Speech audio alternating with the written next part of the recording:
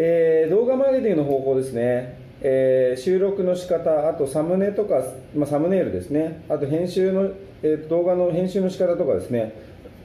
この辺りについて、えーと時々ご相談いただきます、まあ、動画マーケティングですね。えー動画を使って、えー、と集客をすると、まあ、まさに僕、えー、と本サイトの方でおお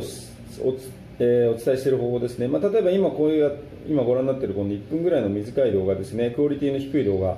まあ、それでもですね、えー、ときちんとした、あのー検索ワードタイトルですねタイトルをしっかり入れることで、えーちゃんとお客様っていうのは集まってきます。で本当に、えー、と興味のある方が、えー、と LINE とかですねメルマガからお問い合わせくれるという形になります。でサムネイルはこの集客方法の場合必要ないです、えーとまあ要はもちろんできればできるに越したことないんですけどもやっぱりサムネにっていうのは凝って時間がどうしてもかかってしまうのでそれよりは大量に投稿するってことですね。編集とかも、えー、と基本的には不要